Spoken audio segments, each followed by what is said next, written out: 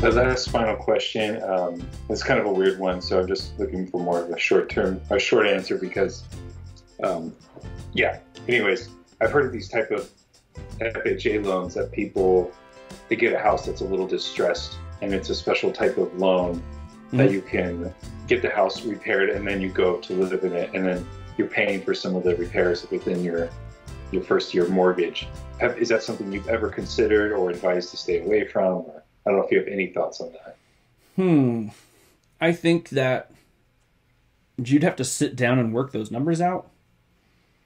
Right? If you're if you are adding value and you can kind of guesstimate how much value you're adding and how much you're spending to add that value, and then what that is going to cost you over the course of that loan, then you might be able to do the numbers to figure out if it's actually worth it or not.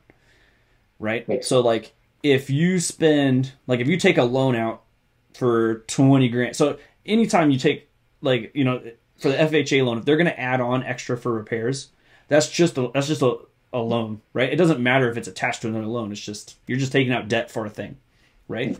So you take out debt for a thing. Let's say you're going to take out $10,000 worth of debt and then you turn around and you put it in your home and that adds $50,000 worth of value and the interest you pay on that $10,000 over the course of the next 30 years is 5,000, right?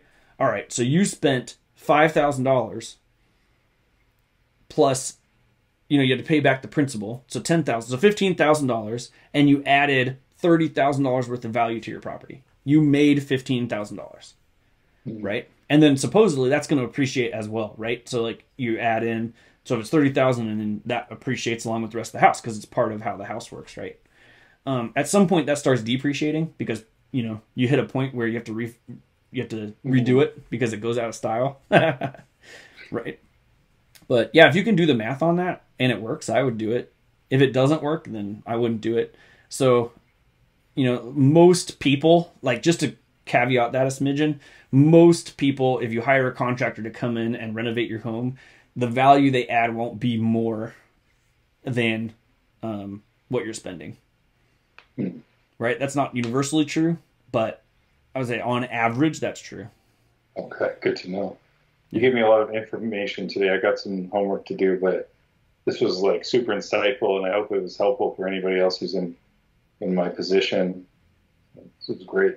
Thank you. Yeah, thanks, man. I super appreciate it. That was fun. I like a lot of stuff that I don't often think about, like that I know, but I don't often mm. like think about, right? And uh, you're like hitting all the the spots coming from you know perspective on the other side. I think that's real helpful, and I think you gave me a lot of uh, you know ideas to make new episodes with. So super yeah, plenty, I plenty of questions. We we got through yeah. a lot of questions, so thank you. Appreciate that. Yeah, so if you see some episodes coming out soon that basically just answer your questions, great. Don't be surprised. I appreciate it. Yeah. Awesome. All right, cool. Well, thanks, Ryan. I super appreciate it. Thank you. All right, I'll see you next time. Talk soon.